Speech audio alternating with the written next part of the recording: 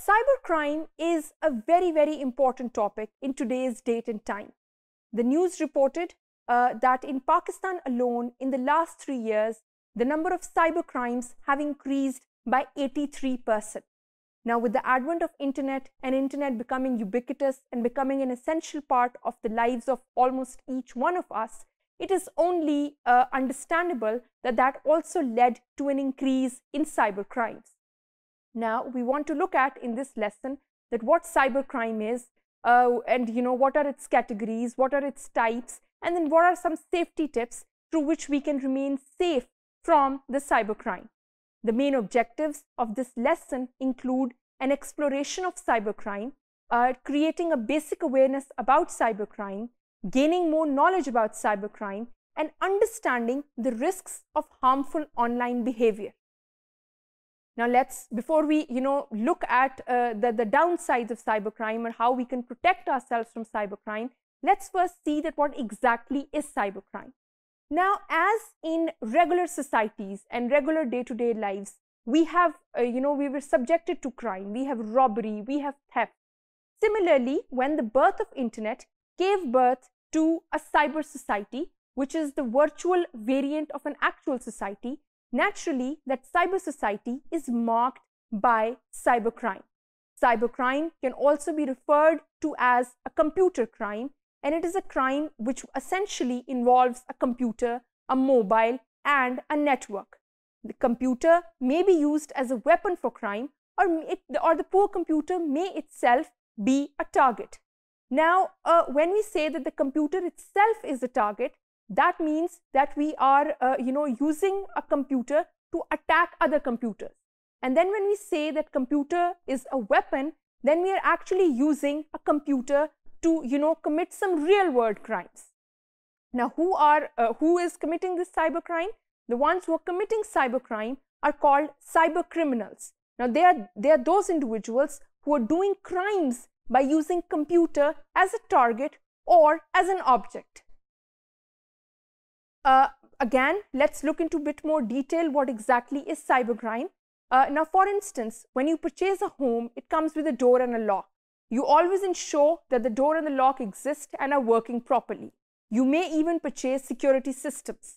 Likewise, your computer system is almost like your house and security tools are needed uh, just like how in an actual home you need a door and you need a secure lock. Similarly, your computer, which is synonymous with your home, in order to protect it, you require security tools as well. And if someone breaches into your computer system, uh, you know, and accesses all your personal uh, accounts, tampers your data, it is the criminal who is committing that particular crime. Uh, let's look at some of the categories of cybercrime. But before doing so, uh, you know, I want to share with you that the cybercrime first originated in the US in the 1960s uh, types of cybercrime or let's say more specifically examples of cybercrime included that you know somebody broke into the system of Brooklyn College, New York and tampered with the academic transcripts of students. Uh, then moving on in year 1978, Pacific National Bank security database because it was hacked that led to a loss of millions and millions of dollars. So, uh, you know, these are just some examples of cybercrime which started in uh, 1960s. So technically cybercrime is not a new concept, but its frequency with, uh, with you know, passing time has become much higher. So now let's look at the categories of cybercrime. Cybercrime can be against an individual, which means that the type of crime is in the form of hacking, uh, identity theft, bullying uh, against a certain individual.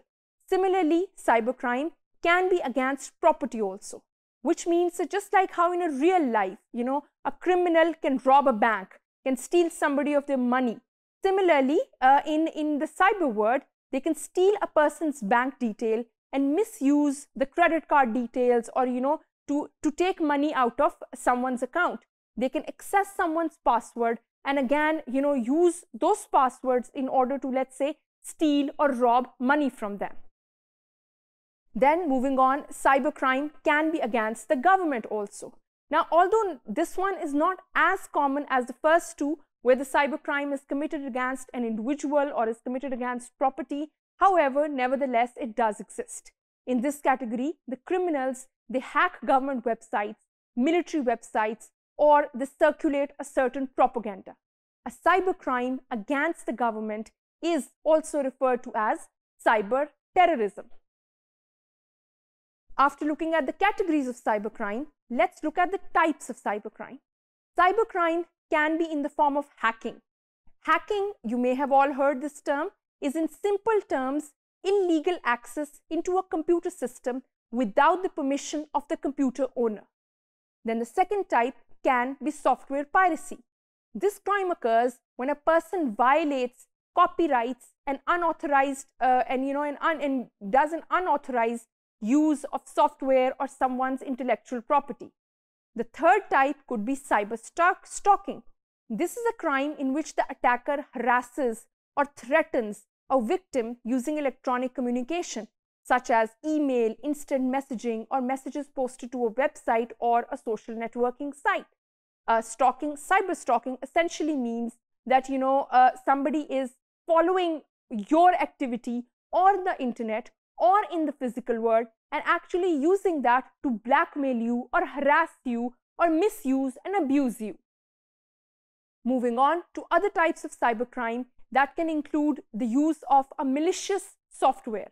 Now, malicious softwares are internet-based softwares or programs that are used to disrupt a network.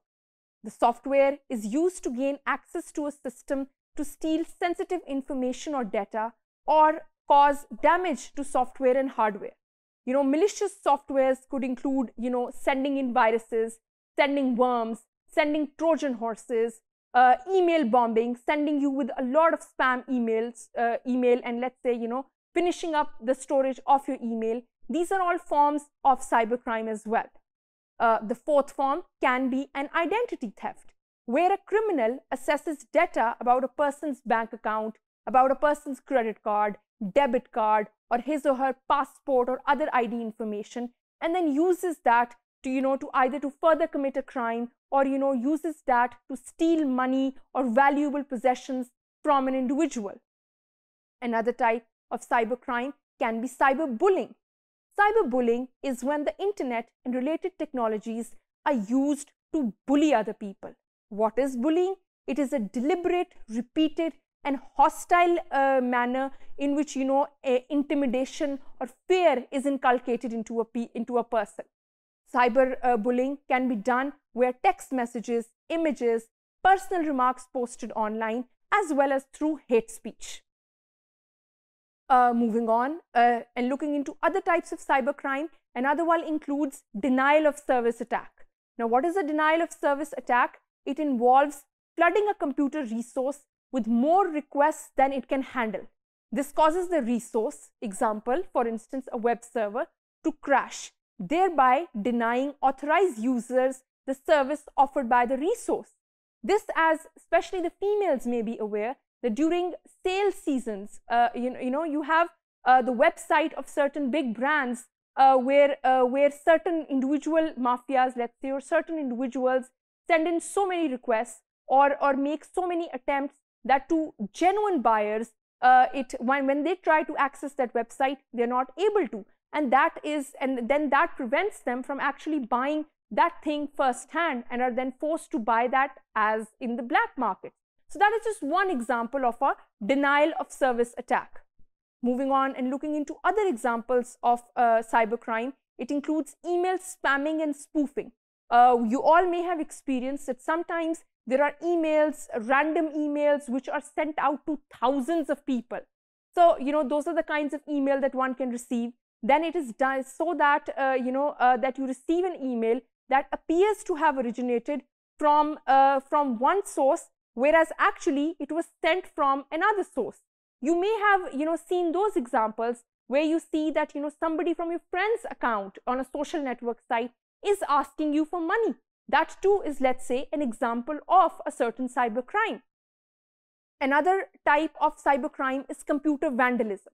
Computer vandalism is that you're damaging or destroying data rather than stealing or misusing it. Uh, when you're damaging and destroying somebody's data, This is called computer vandalism. Moving on, well, I could give you, you know, and more examples of cybercrime and list down various other cybercrimes. But, you know, uh, while crime exists, it is important to look at some of the safety measures or precautions which individuals or individuals around them can take in order to prevent themselves from these attacks of cybercrime. For instance, firstly, on your computer systems, use antivirus softwares. You know, this is the basic fundamental step which actually prevents your computer system from a lot of attacks, from viruses, Trojan horses, uh, worms. Then secondly, insert firewalls. Thirdly, uninstall any unnecessary softwares available. Fourthly, always maintain backups, especially of important crucial data, especially of data which you, had to, which you had to create with a lot of effort. Further, never send your credit card number or your passwords to any site which is not secure. Moving on, avoid sending you know, your photographs or videographs uh, uh, or videos, especially those of a personal nature, to, uh, to strangers. Lastly, do not open emails from strangers uh, or you know emails which from their subject or from their title seem to be suspicious. This especially prevents your system from unwanted attacks. Uh, moving on, don't respond to harassing or negative messages and comments. Uh, you know, responding to harassing messages or, you know, cyberbullying does not solve the problem. So do not do that. It just makes you part of a certain vicious cycle.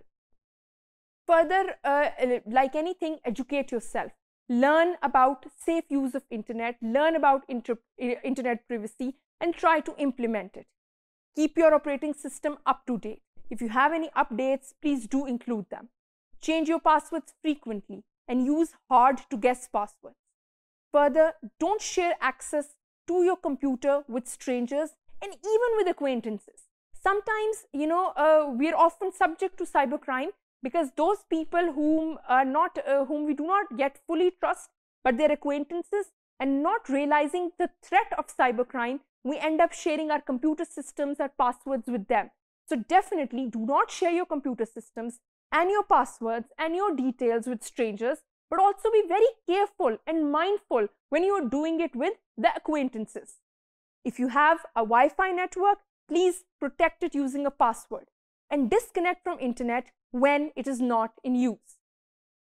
So when we looked at uh, this, uh, this lecture or this, let's say this lesson, uh, which was an introduction to cybercrime, we were able to realize that just how a regular society is subjected to crime, a cyber society, which is a virtual variant of a regular society, is subjected to cybercrime. Uh, there are various types, various kinds of cybercrime. However, in order to remain safe, in order to protect yourself, in order to protect your loved ones, please make use of antivirus softwares, firewalls, uh, security patches, uh, be careful with the you with with sharing your credit card details, with opening suspicious emails, with you know with the use of your passwords, uh, because uh, it's always best to practice these safety measures than become a victim of a certain cybercrime.